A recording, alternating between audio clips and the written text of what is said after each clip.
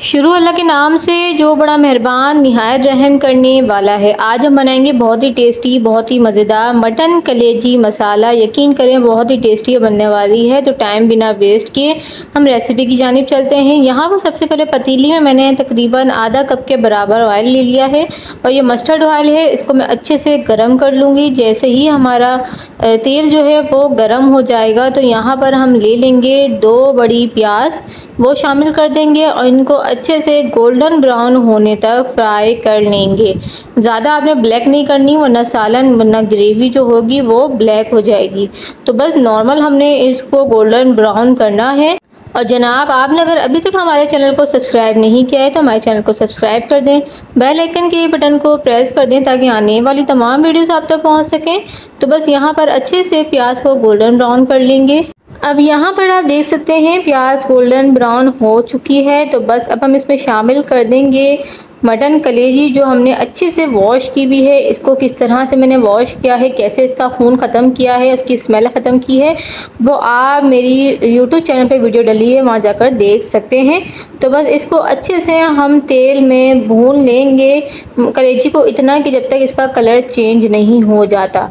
इस तरह से करने से जो मटन कलेजी होती है, उसमें स्मेल बहुत होती है और इसमें जो थोड़ी बहुत स्मेल रह गई होगी, वो भी इस तरह बिल्कुल ख़त्म हो जाएगी।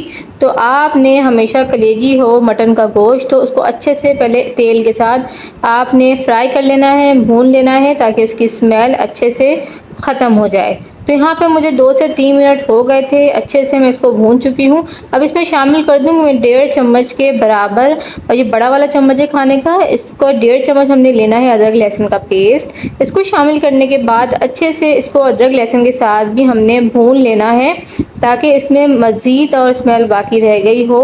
तो वो भी ख़त्म हो जाए और अच्छे से और बहुत ही मज़ेदार और सॉफ्ट कलेजी हमारी तैयार हो। तो अच्छे से हम इसको भून लेंगे। अदरक लहसुन डालने के बाद तकरीबन दो से तीन मिनट तक और मज़ीद हमने इसको भूनना है। तो यहाँ पर आप देख सकते हैं कि अच्छे से कलेजी को मैंने भून लिया है और थोड़ा थोड़ा ऑयल भी ऊपर आने लगा है। तो बस यहाँ पर हम अब कुछ मसाले शामिल करेंगे। जैसे कि इसमें हम शामिल कर देंगे। वन टेबल स्पून लाल पिसी हुई मिर्ची इसके अंदर शामिल कर देंगे। अगर आप ज़्यादा ठीका पसंद करते हैं तो आप थोड़ी और मज़ीद मिर्चें शामिल कर सकते हैं। उसके बाद इसमें शामिल कर देंगे वन टेबल स्पून धनिया पाउडर। उसके अलावा इसमें हम शामिल कर देंगे वन टीस्पून हल्दी इसके अंदर हमने शामिल कर दी है।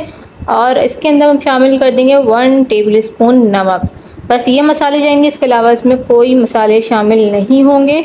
इन मसालों के साथ हम कलेजी को अच्छे से फिर से भून लेंगे जब तक के ऑयल सेपरेट नहीं हो जाता।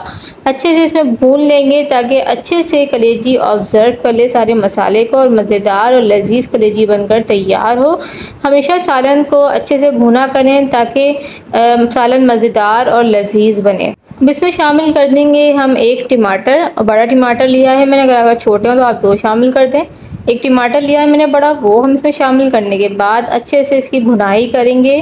टमाटर जब तक के टेंडर नहीं हो जाते, बिल्कुल गल नहीं जाते ऑयल सेपरेट नहीं हो जाता, तब तक हमने इसको अच्छे से भूनते रहना है। अब आप यहाँ देख सकते हैं, तकरीबन आधा मसाला हमारा अच्छे से भून गया है कि ऑयल ऊपर हल्का हल्का आने लगा है। लेकिन इसको हम मज़ीद और भुनेंगे क्योंकि टमाटर अभी और मज़ीद गलेंगे। जब तक ये बिल्कुल नहीं गल जाते, आप इस तरह जैसे मैं इसको मैश कर रही हूँ ना स्पून से तो इस तरह से आप कर लें ताकि अच्छे से जल्दी जल्दी टमाटर गल जाए और आपका सालन जल्दी तैयार भी हो जाए।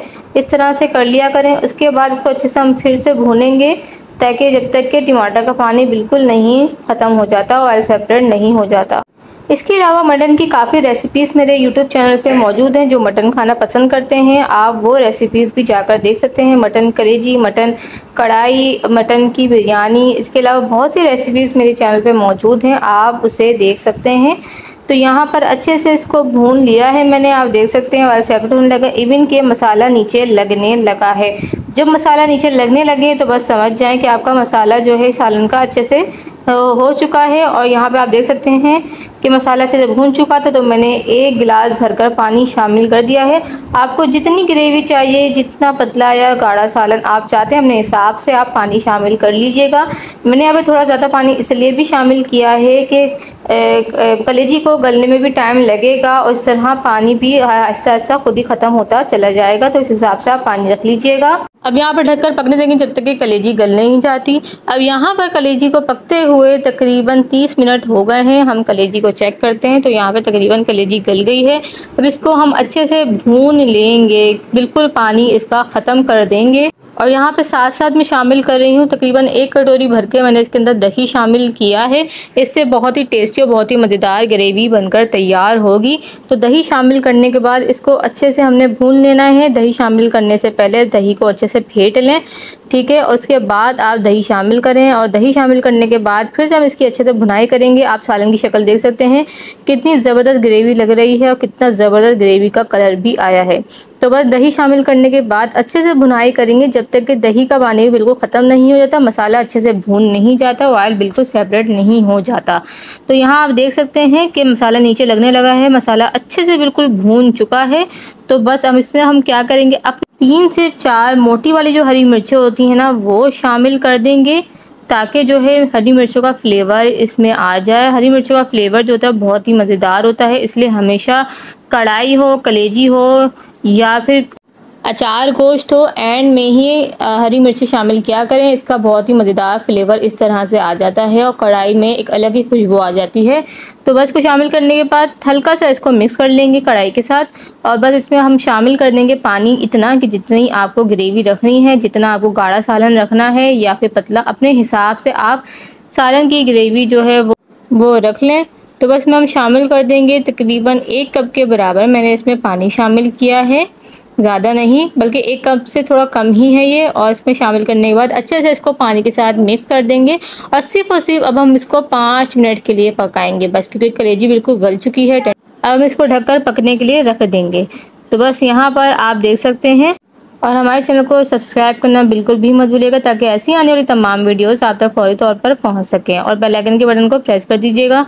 तो यहाँ पर आप देख सकते हैं, पाँच मिनट हो गए थे और अच्छे से हमारी कलेजी बनकर तैयार है। इतनी मज़ेदार और कितनी लजीज से कलेजी मसाला बनकर तैयार हुआ है। जब आप खुद इसे तैयार करेंगे तो आपको भी यकीन करें अच्छा लगेगा। फिर मिलेंगे नेक्स्ट वीडियो में, जब तक के लिए अल्लाह हाफ़